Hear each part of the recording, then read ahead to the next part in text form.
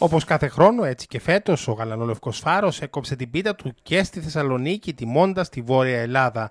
Ο Σύνδεσμο Φίλων της Εθνικής Ομάδας, που έχει φίλους σε όλη την επικράτεια, διοργάνωσε μια όμορφη εκδήλωση στα Λαδάδικα της Θεσσαλονίκης και ευχήθηκε παρουσία πολλών πρώην ποδοσφαιριστών και στελεχών της Εθνικής ό,τι καλύτερο για το 2019 για την ομάδα αλλά και όλους τους Έλληνες.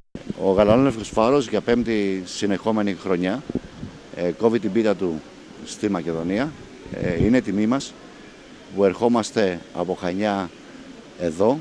Έχουν έρθει κόσμος από όλα τα μέρη της Ελλάδος, από Εύρο μέχρι και Κρήτη και φυσικά ε, σε αυτήν την κοπή της πίτας έχουμε 17 Έλληνες διεθνείς.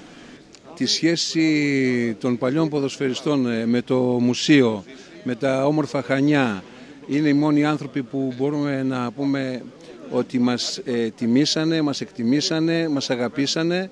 Το ίδιο προσφέραμε και εμείς και πολύ απλά δώσαμε κάτι το οποίο ίσως ε, δεν μπορέσαμε να το παρουσιάσουμε εμείς. Τις φανέλες της Εθνικής Ελλάδος, τα περισσότερα παιδιά.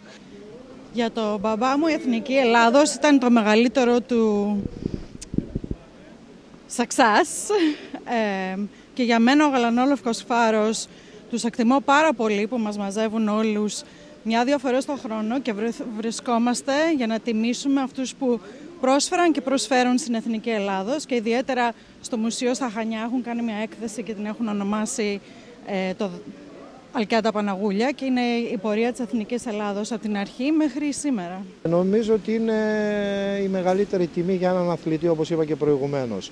Ευχαριστώ πάρα πολύ τα παιδιά, ευχαριστώ τον Νίκο πάρα πολύ γιατί την, για αυτή την ε, τιμή που με κάνουν, που σκεφτήκαν να με τιμήσουν. Ε, το έχω πει πολλές φορές, είναι μεγάλη τιμή για μένα που εκπροσώπησα τα χρώματα της εθνικής ομάδας της χώρας μου. Πέρασα πολύ όμορφες στιγμές, μεγάλες συγκινήσεις και θα μείνουν χαραγμένες για όλη μου τη ζωή. Και όταν δεν τους ξεχνάνε οι άνθρωποι όπως αυτού του συλλόγου του Φάρου που ακολουθούν την εθνική ομάδα ποδοσφαίρου παντού αναπτερώνοντας και βοηθώντας ώστε να διεκδικήσει το καλύτερο. Τότε θεωρώ ότι και τα νέα παιδιά θα έχουν την δυνατότητα εξαιτίας και αυτού του συλλόγου όχι μόνο να γνωρίζουν τους τωρινούς μεγάλους αθλητές αλλά να ξέρουν και από πού έχουν ξεκινήσει ορισμένα αθλήματα, ποιοι έχουν διακριθεί και είναι σαν αυτό που λέμε μαθαίνουμε την ιστορία μέσα από τέτοιες εκδηλώσεις.